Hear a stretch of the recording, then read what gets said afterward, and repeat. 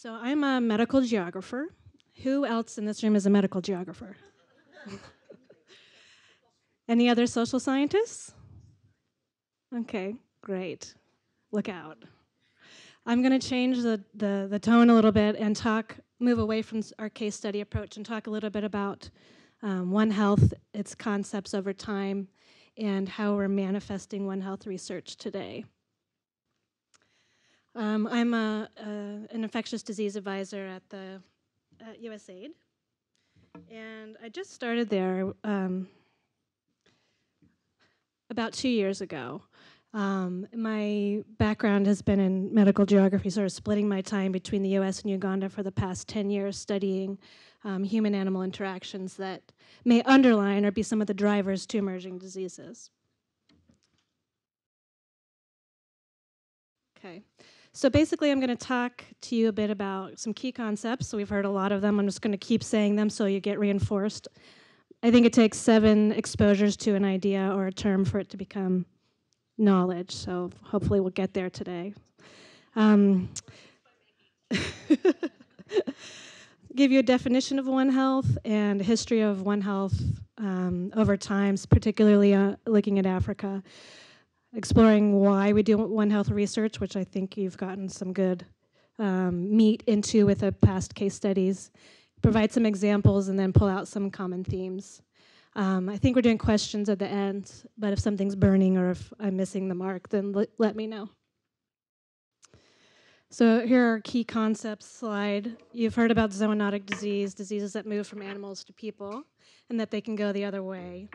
In the past, those have been called anthropozoonotic, um, but that's such a mouthful that we just sort of look at zoonotic diseases, those that can move from animals to people and back. Ep endemic diseases are diseases that are constantly present. Um, so they're things we have to deal with that uh, that we're used to dealing with or we're constantly exposed to. And epidemic diseases are those that diseases that can move into um, broader spaces. So from an en endemic you can move into an epidemic if it, if it expands beyond its normal uh, case counts and caseloads. Um, I forgot to put emerging in there too. Obviously, emerging diseases are something that we're perseverating on and thinking about a lot. The definition of emerging diseases are endemics that show up in a geographic location where they're not normally, that have uh, are recrudescent, so they have higher, uh, they're higher vir virulence than normal, or they're something that's new that we haven't seen before.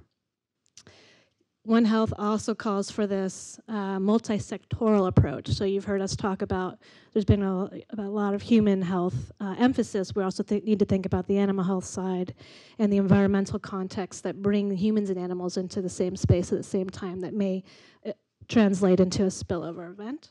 And that calls for a multi-sectoral approach.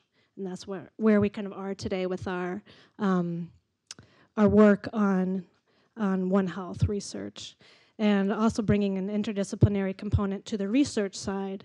So we're looking at human health, animal health, environmental um, science, and then I am arguing that bringing the social sciences on board is long overdue. From the research component, we're looking at epidemiology, that's our John Snow reference, but medical geographers also claim John Snow because he made what? A map. Biological sampling, that's what John Brooks was talking about quite a bit with uh, looking at the non-invasive fecal samples of, of chimps. That's a biologic, an example of biological sampling, as well as actually um, taking blood draws, swabs, smears, combing, you know, the, the, the fur on your primate to get ectoparasites off or ticks. Um, spillover, that's what I'm going to talk about quite a bit. That's where a lot of the latest One Health research is focused on, and that's that sort of microsecond in space and time where a pathogen can move from one per person into another person or one animal into a human or a back. Um, mixed methods, that's sort of the, the description of, of um, a research approach that brings qualitative and quantitative methods together. Qualitative methods are things like um, participant observation, open interviews, um, uh, text analysis, uh, focus group discussions, and quantitative interviews are surveys, um, looking at labs, doing some of the numbers approaches. Traditionally, these camps have been quite divided because they have different epistemologies or different um, different beliefs about how we get to the truth. Qualitative side really emphasizes recognizing who you are as a researcher and what biases you bring to the table and using that to frame your research question and being really open about it. And the quantitative side is sort of a positivistic or uh, claims for uh, objectivity, which um, which uh, kind of has receives the weight of research dollars and the weight of, of, of visibility in the journals. So bringing them together has been sort of a, sticky process, but it's been something that's been pushed by the funders quite a bit. Um, risk behaviors are those those human behaviors that allow for a, disease to move from an animal into human, and that's where a lot of the research is now. That we have sort of this broad-based knowledge about um, pathogens in, in animals and wanting to understand what types of human behaviors that occur in those changes, those ecological changes that put that, that allow for this pathogen spillover. And then upstream drivers are those ecological changes, sort of environmental and social and political and cultural context that feed into those behaviors. One Health, what is One Health? Have you guys seen this triangle before? Yeah, it's um, the, the, the effort of multiple disciplines and sectors working together with the goal of achieving optimal health outcomes, recognizing the interconnections between people, animals, plants, and our shared environment. We often struggle to manifest e environmental health in this space because environmental health has traditionally been looking at how um, contamination in water sources impacts human health through cancers or looking at environmental health as an environmental justice component. But the way we manifest environmental health in our, in our thinking as researchers is looking at ecological integrity and biodiversity and sort of the presumed balance of, of an environment. This is a sort of an example of endemic and emerging zoonotic diseases, sort of giving an example of how they're shared. Um, kind of past this by now. And then the, some stats on endemic and emerging zoonotic diseases. 60% um, of existing infectious diseases are zoonotic, and at least 75% of emerging infections are from animal sources. Five, five new human diseases appear every year, and three of those are animal origin. And then 80% of agents with bioterrorist potential, it's something we probably haven't talked about too much, are from animal sources. CDC has some great visuals on these. Now we're gonna, oh shoot. Okay. Um, we're going to talk about spillover a little bit, and this term refers to that, so that second. So a lot of our research, yeah, it's an animation. So it came through. This is a really beautiful photo, I think, of just showing the casual intimacy of how a lot of people live with their animals. And when we um, hear reports about how people sleep with their animals, we misinterpret it as like being in, a little bit more physically intimate with their animals, but it's actually just keeping maybe keeping your goats in your house, in your you know in your compound with you because someone might steal them, or the chickens are free range, so they're going to come in and hang out in your house while you're sleeping. This is a picture of red colobus in Kibale National Park in western Uganda. There's a research station inside this park, and so there are lots of kitchens and lots of researchers, and the red colobus always come over and want to eat pineapple or like lick the outside of the building for salt content or minerals or something. Um, but it just sort of shows that they're present all, all the time. Those are dishes. And these, these guys have, we've discovered about 40 new unknown viruses in them, and some from filovirus families, some from um, arenavirus, uh, paramyxoviruses, and so we're part of the, you'll hear about it later as a study on those.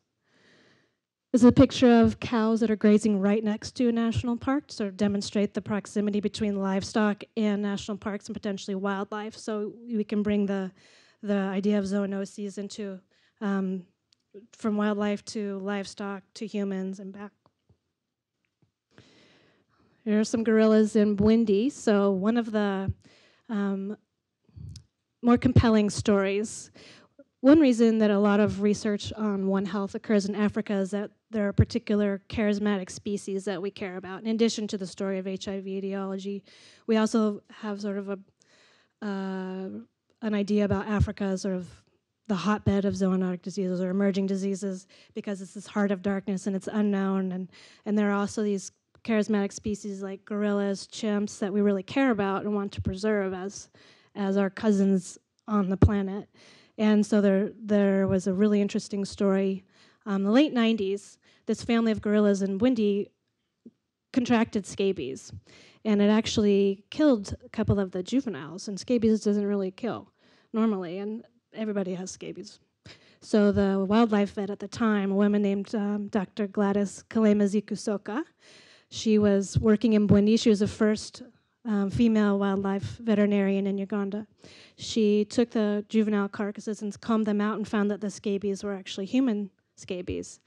So that sort of prompted her to launch this small NGO called Conservation Through Public Health, which carried forward the idea that in order to protect gorillas and protect wildlife, we need to also take care of the communities living around the park.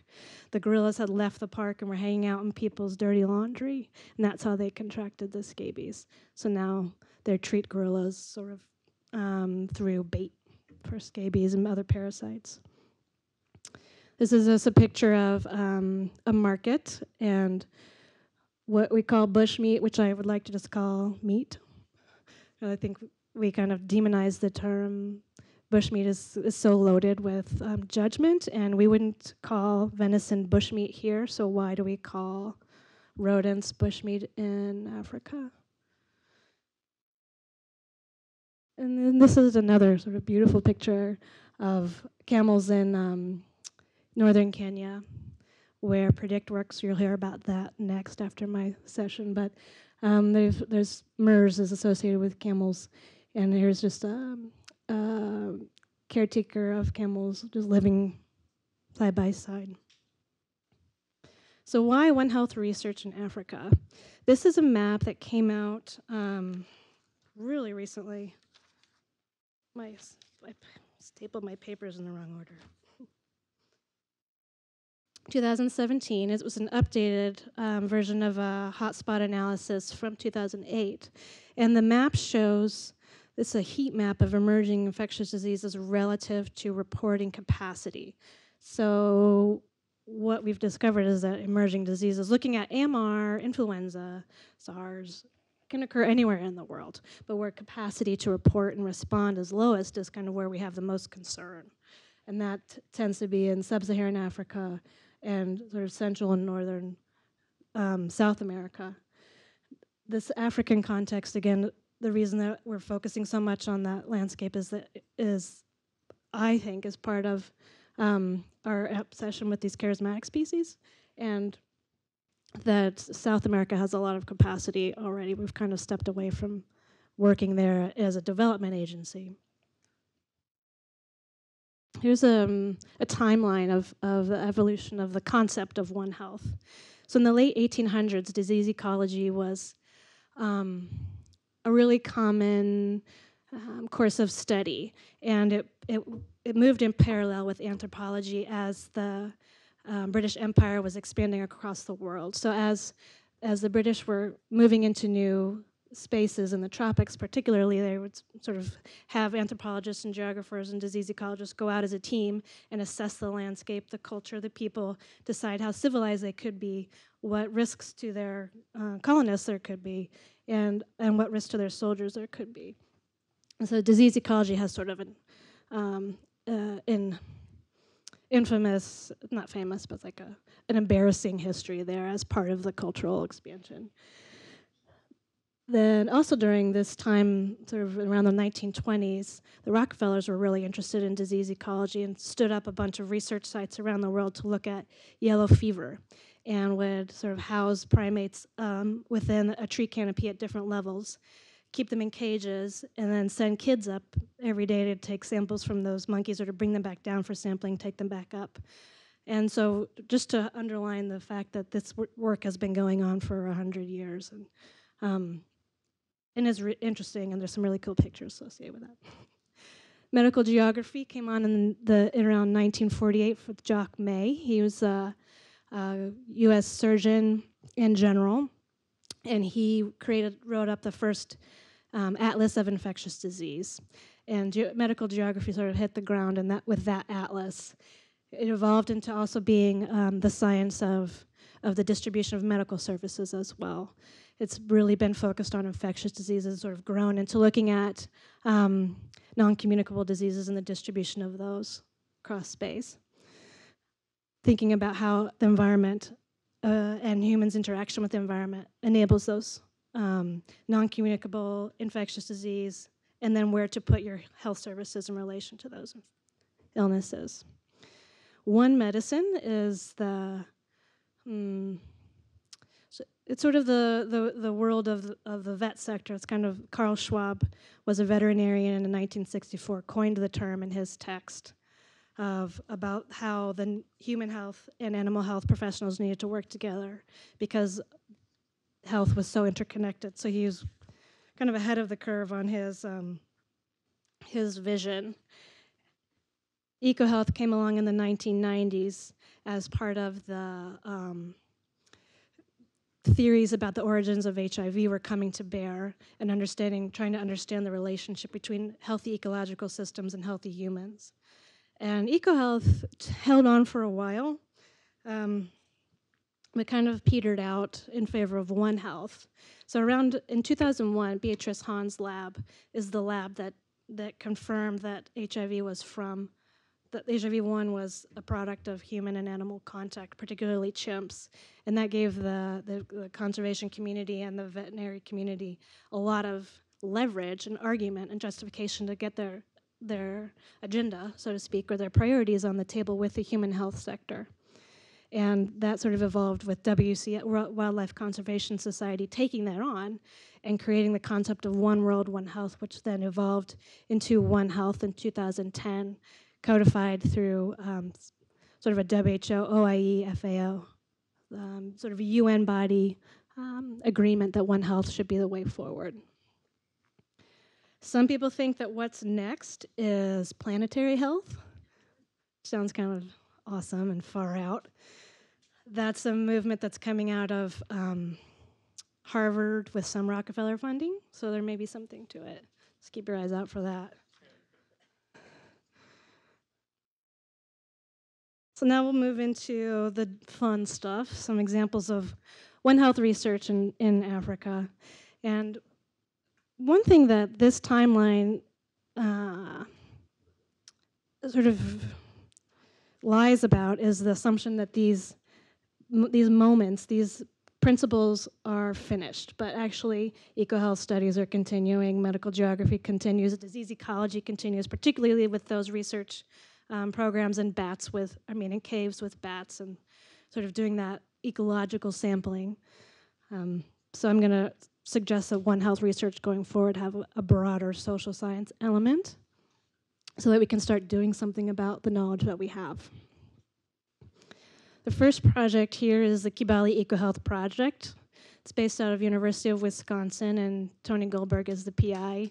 And I'm particularly fond of this project slash have emotional feelings about it because it's where I got my teeth. So um, I'm really biased in both ways. Sometimes I hate it, sometimes I love it. and uh, this is a male red colobus, and this um, map here is a map of where humans. It's a it's a hum, it's an activity space mapping. So the different colors represent different places where people are. Red, yellow, and orange represent different sort of intensities of utility of that location, and the the blue tones are primates, different intensities of primates in those locations. So we did a spatial analysis to see where humans and, and primates overlap the most, and it's right at the edge of this fragment, so that that uh, shape in the middle is a forest fragment. There are these forest patches that live that sort of persist outside of national parks where some primates live, and so that those are the primates that have most contact with people. And they're coming out, hanging out right on the edge of that fragment. If you take a deeper dive into what's going on there, there's a water source that people and primates both use. The idea behind that project is to look at the roots, biological and social drivers, And they're really interested in taking this One Health approach, but they called it EcoHealth because it was, took off in 2005, sort of before the One Health concept got one, basically won out. it comes from a decidedly conservation background. The Dynamic Drivers of Disease in Africa was a really neat um, consortium project out of Sussex. The PI is Melissa Leach. It lasted from 2011 to 2016, and it pulled from 21 institutions across the US, Africa, and um, but primarily in the UK.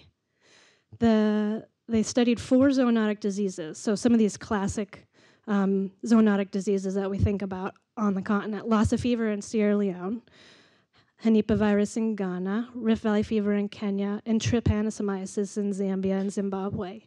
And they were looking at the different ways that ecosystem changes, so it's really bringing the, the environmental component of One Health to the, to the fore, and how those ecosystem changes impacted people's livelihoods and how that impacted how they interacted with animals.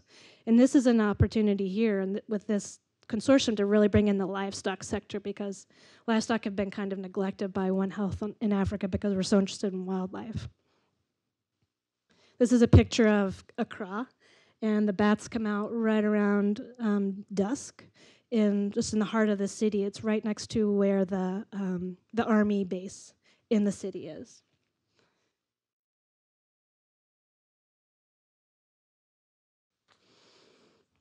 This is a really new study. It started in 2013, a multidisciplinary study of humans, great apes, and diseases in equatorial Africa. And she's naming it Social Science Perspectives on Cross-Species Contacts. And Tamara Giles-Vernick is an environmental historian um, based at Institut Pasteur.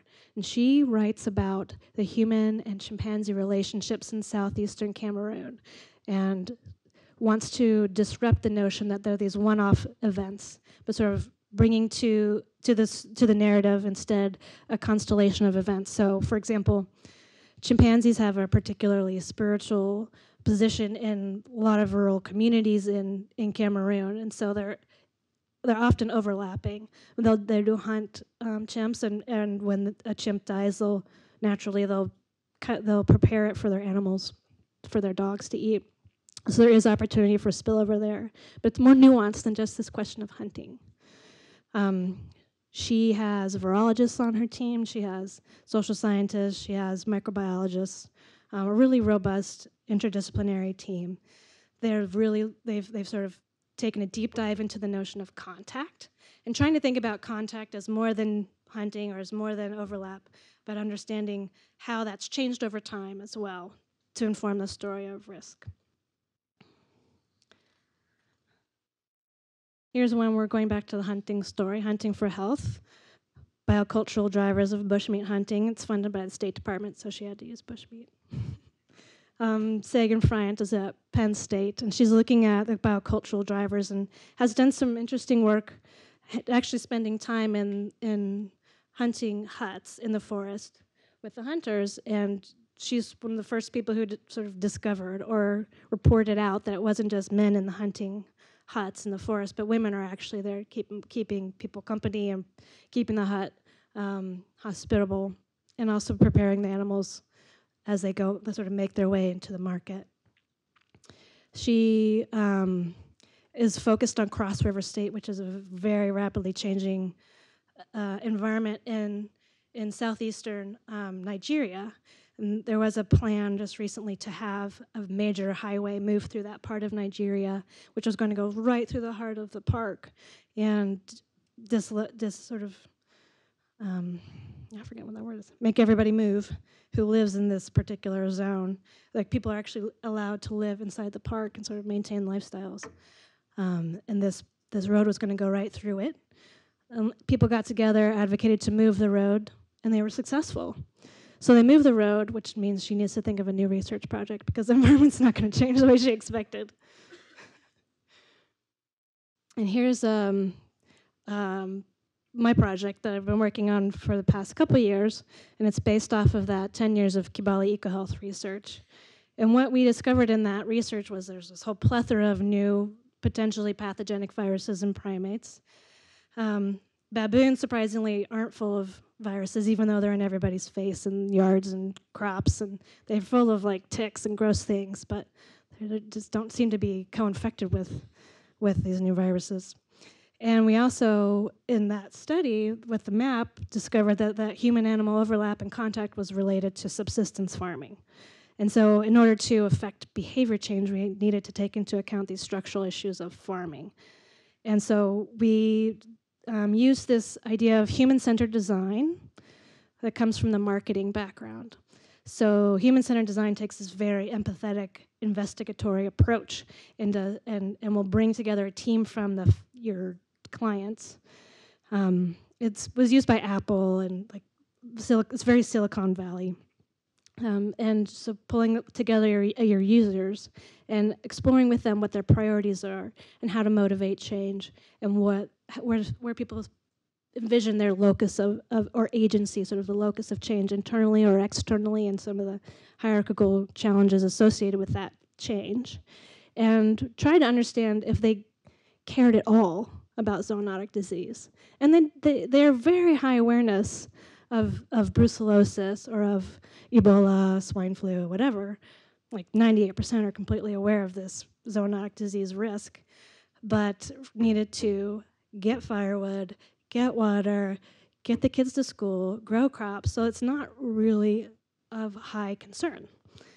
So what we try to do is unpack what their concerns are and unpack what we've discovered from the research and blend them and create some just communication materials to start out with. And this picture at the top is a drama show with um, Edith, my field assistant there, and her mom sort of enacting what you could, what it could look like or feel like if you contracted um, an influenza from um, a pig, your pig, or a wild pig. And then this brochure at the bottom is what the the team came up with in terms of communicating in local languages and, and using like the the villagers who drew who were there to draw out the pictures. And they also sort of created diagrams on the inside to make suggestions based on some interaction with the envi environmental officers on where you should put your pigs in relation to your house and your goats and what the distance should be and where should your latrine be and and also got access to a bunch of free trees and tree seedlings to use as firewood instead of needing to go into the forest to access those. And so we're just testing how effective that was right now. I just got back from Uganda yesterday and got some started getting the data from this three-year study, just sort of looking at the same people over time to see if this made a difference. And I don't really expect it to, but I think it's going to be really interesting anyways. and this last piece is um, Predict. Predict is a very large global project. Um, it's funded by USAID, and it's had two iterations. It's on its second iteration. Sort of fundamental piece is that they're sampling wildlife, particularly non-human primates, bats, and rodents, and also looking at humans and sampling humans who are showing up at facilities with fevers of unknown origin that are not malaria, and sampling those, biological sampling of humans, and also using questionnaires to, to understand what types of contact those people have had with animals, livestock, or wildlife. And then also paired with that in this Predict 2 is a behavioral component, including the mixed methods approach that I was describing before with focus groups um, and interviews, along with knowledge attitude practice surveys. They've their sort of band-aid is to build capacity in the countries where they're working. So this is just some stats on, on how successful they've been over the past four years to train up um, government physicians and technicians to do investigations and even to do these mixed method pieces. Sampled over 40,000 animals and people, working in 60 countries and have detected more than a thousand unique viruses. Okay, and even known viruses, 182 known viruses in their samples. So I'm not going to go like into this too far because your next piece will give you a really great case study there. So some common themes about One Health research in Africa. It's, it's epitomized by these multiple disciplines working together. So One Health is that concept of a tripod, human health, animal health, and environmental component. So you think of it as a tripod. They're working together to support this platform of research and understanding. focusing on the intersections of human and animal contact in changing in landscapes and the health effects of the, that context. So not just how do people interact with animals, but what are the impacts of that interaction. In Africa, the tendency is to focus on the wildlife component and the emerging diseases component. It's where we get a lot of traction, a lot of funding. And then human animal contact is inextricable from your, the livelihood elements. So we need to understand those structural and political economic factors that are underneath. Those are the drivers of contact. Also, all my examples had PIs from wealthy countries. So I want to start problematizing that going forward and have having people who I want to like find those research projects by that are led by PIs from the countries that we're studying, not just from outsiders. I've got a couple suggestions for reading going forward. Of course, I have to plug health and medical geography. This Ebola Culture and Politics book by Barry and Bonnie Hewlett is really, really interesting. He, Barry Hewlett was the first anthropologist to accompany um, an Ebola research team. WHO called him up. And he's been kind of left behind. I haven't seen much from him from this last Ebola outbreak, but it's a really, really compelling just piece about him. EcoHealth research and practice. So carries forward some more of these examples of research. And then One Health, the science and politics of One Health research in Africa, take walks you through some of those dynamic drivers of disease consortium case studies with a very critical political lens. That's it for me. Thank you very much.